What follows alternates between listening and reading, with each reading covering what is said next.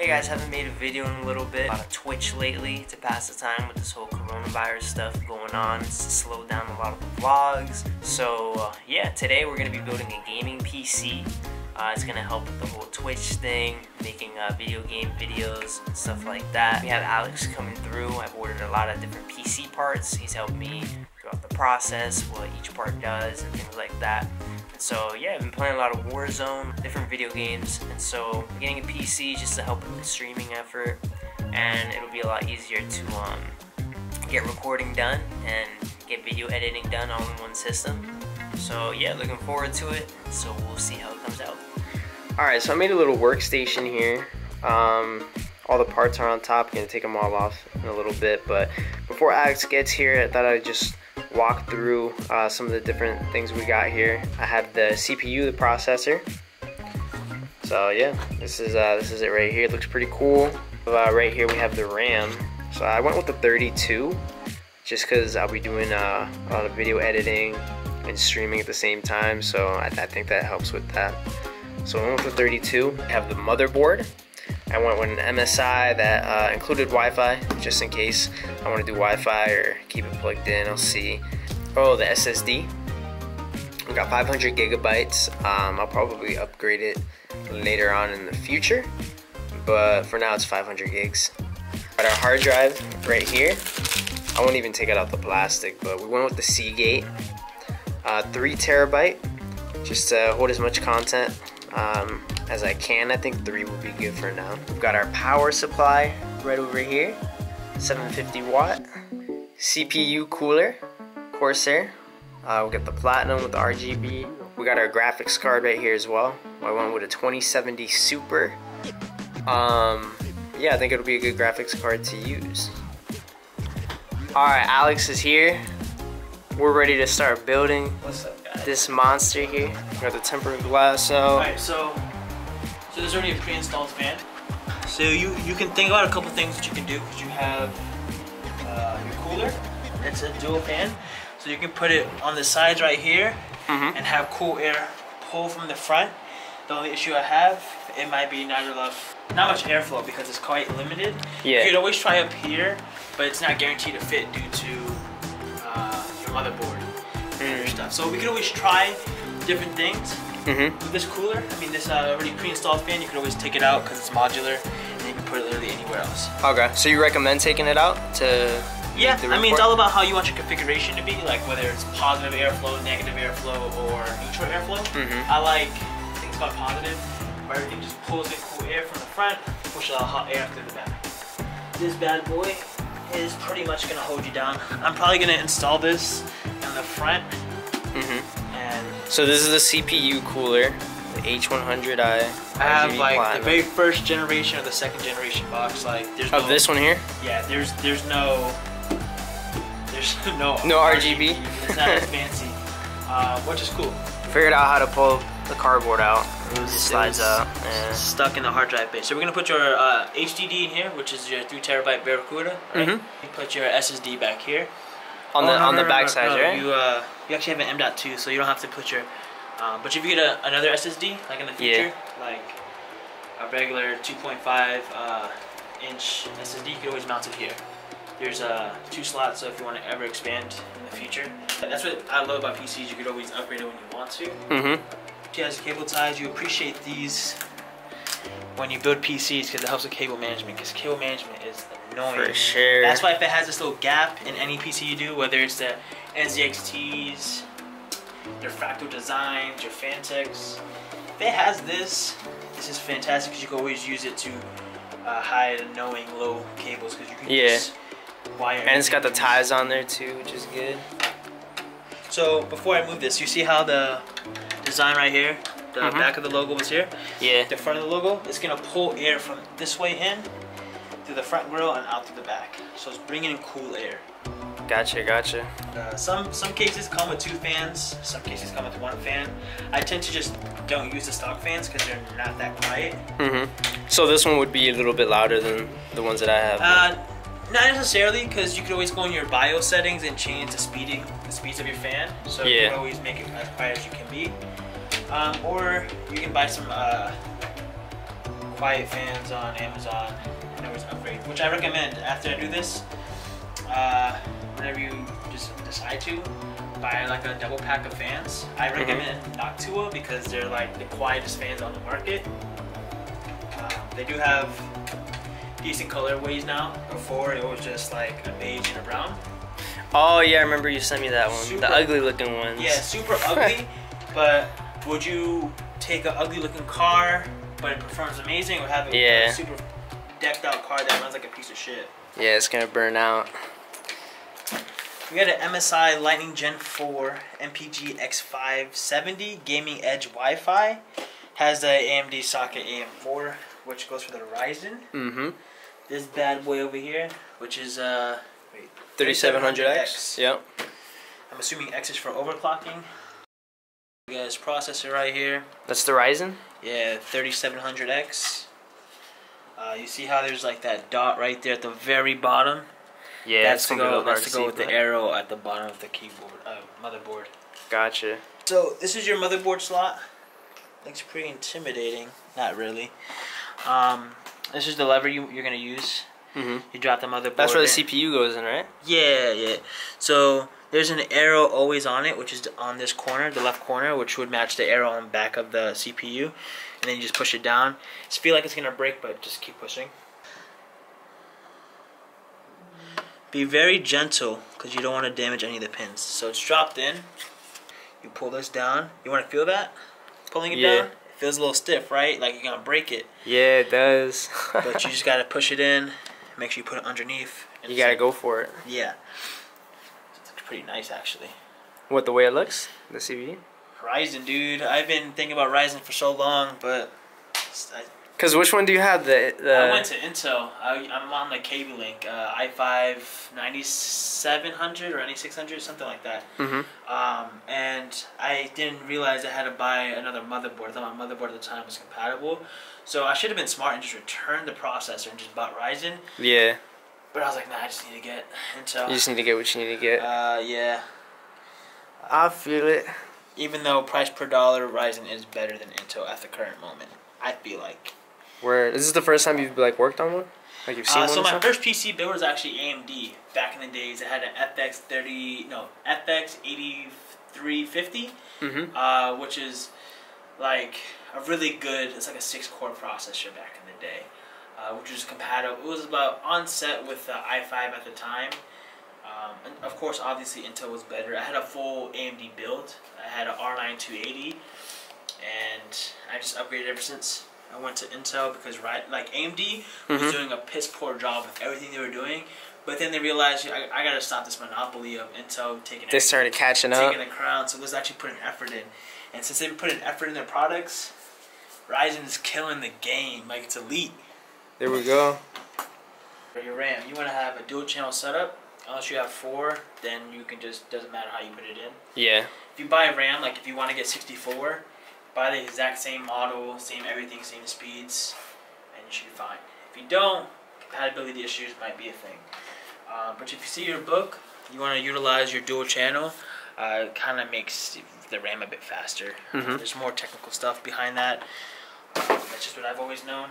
So we're going to be using the first slot and the third slot because the first slot is uh, channel A, third slot is channel B, so channel uh, A, channel B. The RAM. So I got 32 You going right here. G.Skill, Rip Jaws. This is my uh, Jack, my boy. Yeah, His he's got first, them. His first RAM back in the day was um, some DDR3 G.Skill. I think they were like just eight gigabytes Mhm. entirely. You want to make sure you open that. If not, it's not gonna be comp- it's not gonna fit. The little uh, notches right on the ends. Yeah. Okay. Mm. Then you push it down till you get that click.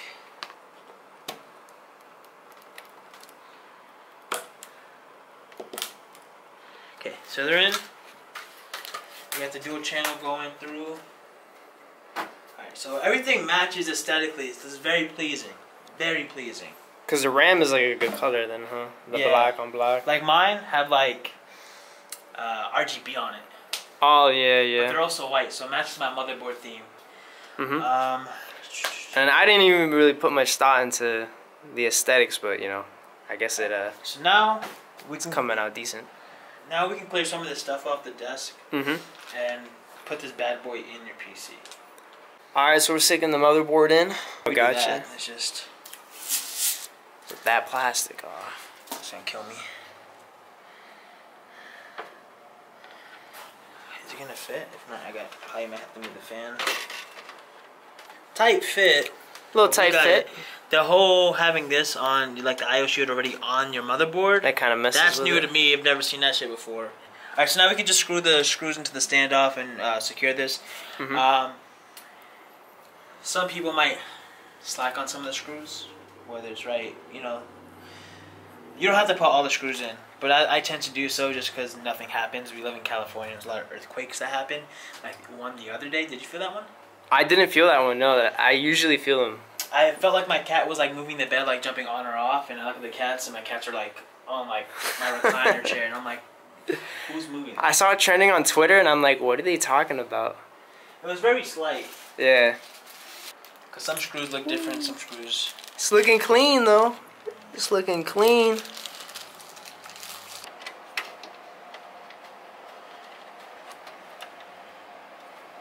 below the the M.2 shield, which I'm probably gonna install the M.2 now, which is your first storage. Mm-hmm. When you're installing Windows, how it's gonna pop up when the installation, your HDD or your whatever's plugged in through SATA is gonna get recognized before that. So, Gotcha. And it's also they're different sizes. You can obviously tell off the sizes automatically, but everything's looking clean. Uh, nothing really too big right now. So this is the NVMe. It's a Crucial Memory, 500 gigabytes. Um, I've actually never heard of this brand before. I've talked to my boy about it. Mm-hmm. He's mentioned it was on like the lower tier of SSDs, but honestly, Balling I- on a budget. I that. But I feel like you mostly like I don't know. Like a lot of things have changed in the like PC community. Like I've seen builds where people recommend Crucial or the price. So I'm not sure what's the price of performance or like what are the speed rates Yeah. but this is going to be faster than any HDD you have on the market. I feel so. I mean, Mhm. that's probably a lie, but I don't know. It's not a bad setup, especially if it's your first PC build because you have one more slot. Yeah, for So, sure. Do you want to? There's another slot for another SSD. Yes. So Oh, this is going to the one under the heatsink. That's actually screws. Mm-hmm. And this one will be your extra one. So if you always want to upgrade via SSD like the 2.5 or another one of these, you can always do that. But these go in at an angle. Okay? They go in at an angle and then you push it down. So I'm assuming there's longer ones. But you push it down. And then it comes with a screw. And the little zip ziplock. Yes. But I also have some right there, which is actually great because I actually brought a screw. So uh, it's already installed. I I mounted it in. Uh, so now you put this over it, and you can get better cooling. That's if you like, because you can overclock pretty much everything, whether it's your CPU, your RAM, or I guess your motherboard and other aspects. All right, so we just found a screw that was on the ground. We had to we had to find that real quick. Um, Carpet floors, man. yeah, carpet floors a little They hard don't to go find. them. places, but they get swallowed up by the carpet, man. Oh yeah, they pretty much go down like a vortex, a portal, and you never see them again. But yeah, everything's looking good so far. Um, we just put the SSD in, figured out how to how to do the the rest of that. So That's the thing I do appreciate about M.2s or NVMEs, whatever they're called, Mhm. that they're so low profile, like you won't even know it's there unless you like know it's underneath the heatsink. There's another slot for expansion. There's even slots for SSDs on the back. Um, well, then you have your standard slot right there. For your HDDs, which we're gonna put the Barracuda in. So how many fits in there? Two. Uh, two? seems like two. So you can like do like expansions. You can always do that, as well as like see these like slots right here. Mm-hmm. This one's obviously gonna go for your graphics card because it's the primary one. Yeah. But you could always uh, put like another graphics card in there or another like expansion slot. These are the smaller ones. So like if you want to put like a if your mother if motherboard didn't come with Wi-Fi, you can get like a one with like a Wi-Fi card, or this doesn't have Bluetooth, you can get like a Bluetooth card, put that Yeah. in there, and then you can like use your Xbox controller via Bluetooth, or plug in your AirPods if you have AirPods or a headset. Uh, if not, you have to connect your headset through wire. Word, word. So many parts, man. So many parts. I, I would not have been able to do this right now without Alex, for sure. I mean, hey, man. Linus Tech Tips, holding it down, man. Or JayzTwoCents, holding it down. J two cents. And that Yeah, I other guy, I don't remember his name, but he knows he he does this like I think he's Filipino, does that accent and stuff like that. Oh yeah. You ever seen that like build video from that company? I don't know what they're called, but it was like like very ridiculed. Some some black guy was building a computer, um, and put way too much thermal paste. Like there was already thermal paste on that. Still put some extra cable management. Like he did a lot of stuff that could have destroyed a PC, but it managed to boot. So like he did the job. He managed to do it. it was very amateurish. So like, if you can be as bad as him, or as good as Jay's Two Cents, Linus Tech Tips, or people who've just been doing it for a while with cable management, Yeah. like I've been. This is like, I built three to four PCs in my life already. Mhm. This is like the fifth or fourth, and they get easier as time, right? Because the more you get, you already know what stuff's going. RAM's pretty easy. CPU's pretty easy. Yeah. This was the first thing I've never done. This I might go home and like, Research it a little bit. no, I might just do it with mine. Oh yeah. I might just move my M.2 and put it under the heatsink because I can. I have a slot for that Mhm. now that I know what I'm doing. We're looking good. We're looking good. Things are looking great right now. So we're gonna start setting up the the cooler. So we're gonna start mounting the fans on the reservoir and Gotcha. start connecting it in here, and then start moving stuff around. We could also put your power supply in there. Yeah, I got the same one, but I canceled it. Oh, you canceled it? Yeah. Why didn't you get it? Uh, 750. the shipping was just taking too long, and uh, the one I really wanted by Thermaltake Yeah. was like 700 watt, uh, some edition, Mm. and it Mhm. was like 59 bucks. That was from Amazon, right? Yeah, Or whatever. but Thermaltake's a really great brand. Like I've had like my first PC before I fried it by not using anti-static, Mm-hmm. lasting me like over five years. You know, so they're really Yeah, that's great. good. Very minimal. See, Very minimal. has the Intel shield over it. I'm sure of. This might be the Intel shield, but There we go. Yeah, that thing's that thing's a beast.